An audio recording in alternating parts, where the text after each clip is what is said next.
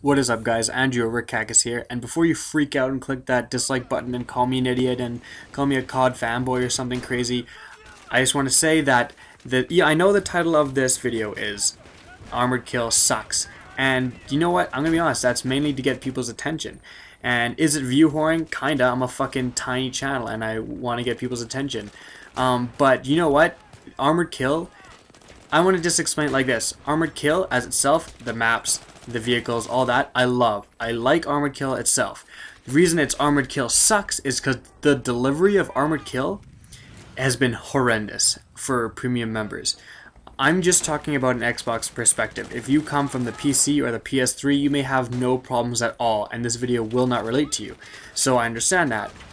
But the for Xbox, it has been absolute shit. First off, we had to have a huge gigabyte download for seemingly no reason. They included the um, for close quarters they had a huge gigabyte update and then when you that came with close quarters and when you actually got the maps it was only like 100 megabytes. That makes sense. This one they had a huge gigabyte update right before and then another gigabyte fucking download to get the maps. What the hell is that about? What the fuck did the update come with? All they did was ruin um, all they did with that update is balance some weapons good and ruin the squads for hardcore. And if you play hardcore, you'll know exactly what I'm talking about. Squad leaders will just, when they leave the squad, the squad leader will not like uh, reassign a name and you'll go squad leaderless. And that's a real huge fucking problem. It is super annoying.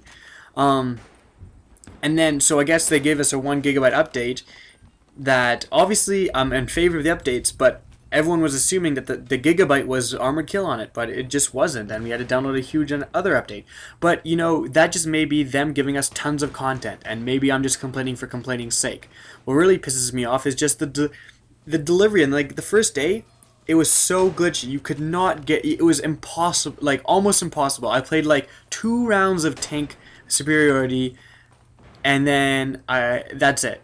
I, I, I played one round of rush and left because it's such bullshit and I'll go into that later but I could you could barely get into a server and god forbid if you wanted to squat up and then go into a server like you're just you're fucked. There's there's nothing you it's not gonna happen. Um now again maybe other people had other experiences but for myself and everyone else I was playing with, with on my friends list all my subscribers I was playing with they were all having huge problems about getting into servers. And I think that's just bullshit. Also fucking Rush. If you have played Rush, uh, and there is an AC-130 literally sticking its guns up your butthole and fucking you, you will understand that it is the most unfair. Like it is so. I can see if you have okay, if you play like my favorite uh, server is uh, a mic only hardcore server. It's called like Stumbling Rumble or something. I really like that server and I cannot get into it. Like literally right now, days after the uh, armor kill, I just tried to get into it. It won't let me. It's been it, it, just won't let me for for days. It won't let me get into that server. And just says you've lost connection to EA. I just can't connect to like the servers I want. Any armored kill thing I try to connect to, most of the time it says I've lost connection to EA. It says every single um, every single server that I look for in server browser has a one bar connection. What the fuck's that about? And I know it's not my connection because I've been playing Mass Effect 3 and Call of Duty and I have a perfect connection in those. So it's clearly not me, it's clearly EA. And, or D EA or DICE. And I think it's just complete bullshit that they haven't like fucking tested these things. The premium members we're it, it, it's unfortunate that we're kind of like the guinea pigs. We pay we pay fifty dollars to be the guinea pigs. Like we should be the getting the like the finished product. It's unfortunate that they they test things out with us and then when they give it to the public, it's like the finished product. They go, "Oh, maybe we should scale back the AC130." And then when everyone else gets it, they don't have this problem. Like, I don't want to be the guinea pig. I don't want to pay $50. Yeah, I do want to get it early, but I want to get the finished product. I don't want to get like where it's glitching up every 10 seconds. That should not be the case. They should I don't care if I have to wait an extra month. I would rather get Armored Kill in October and it'd be perfect, then get it in September and it won't even let me get into a server. Like that is super annoying, especially like $50 is a lot of money. It's like buying the game again and you you're treated like it just it, the, these glitches should not be happening.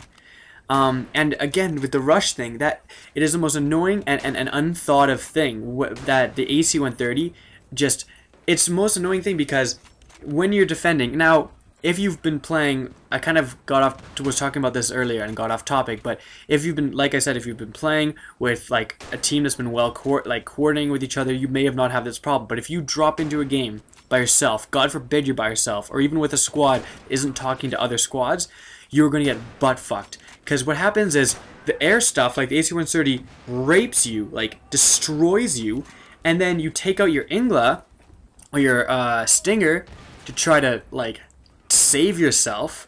And then what happens is you take him out, shoot down the AC-130, shoot down the jet that's like literally raping you, and then what happens is the tank destroyers and the tanks roll right over you because you have nothing to take them down with now.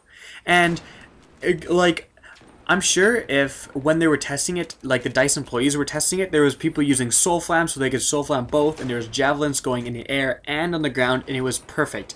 But guess what? I'm sorry, but if you're watching this video, you will 100% agree with you. Most people, most people, a lot of people on Battlefield 3 are fucking idiots. Do you know how many people get in the jet and don't get a single kill and rammed into like the a tree? So many. And when you're testing it within DICE, those people all know what they're doing and they all coordinate and they all talk to each other. So yeah, they're gonna test it and they're gonna work as a team and they're gonna be like, wow, look, like it's totally fair. The AC-130 isn't overpowered. But as soon as you bring in like a level five who like or it's like someone who's playing on their brother's account or someone who's just like terrible at this game and somehow brought premium and it like just can't doesn't know how to do shit hasn't even fucking unlocked the anti-air weapons you you you can't it's to be overpowered. So they should have accounted for that and, and they, they didn't. They're expecting like perfection in, in like team organization and it's just it's just not to happen.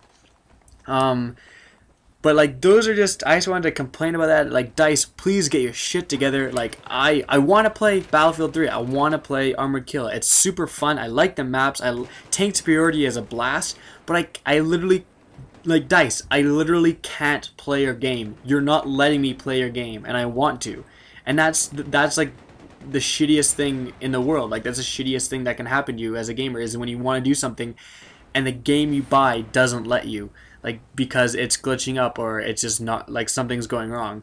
And like i would liken this the only time i was more like just kind of like taken back by like how shitty the servers were were was when uh, odst came out and everyone tried to do firefight and it was just down for like 24 hours and like no one could it was like almost impossible to get into get into any servers so there's my little rant. Like, feel free to disagree. If you're having like a good time on armor Kill, like good for you. But I'm just saying, me and a lot of people I've talked to are not. We are getting the short end of the stick, and we're getting like butt fucked right now, and it is sucking. So you know what? I hope you enjoyed this commentary slash rant. Uh, the gameplay in the background, I haven't even decided what it's going to be yet, so I'm going to fill it in with something random. Uh, please wait, rate, comment, and uh, if you want to see you know more Battlefield stuff, uh, feel free to subscribe. And as always, have a good day.